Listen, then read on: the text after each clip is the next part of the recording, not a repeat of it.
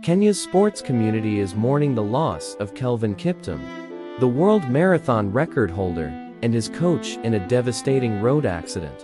Kiptum, celebrated for his historic victory at the Bank of America Chicago Marathon, where he broke the world record, was driving a Toyota Premio with two passengers on board, including his coach, Garvais, and a woman named Sharon Kosgey.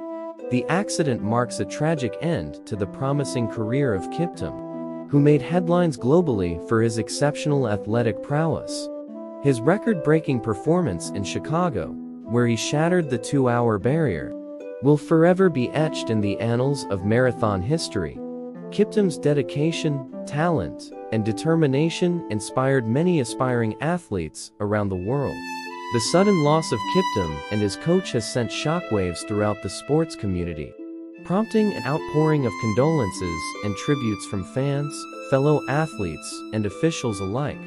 Their untimely demise serves as a stark reminder of the fragility of life and the unpredictability of fate. As investigations into the accident continue, the sports world mourns the loss of two remarkable individuals whose contributions to the athletic arena will be deeply missed.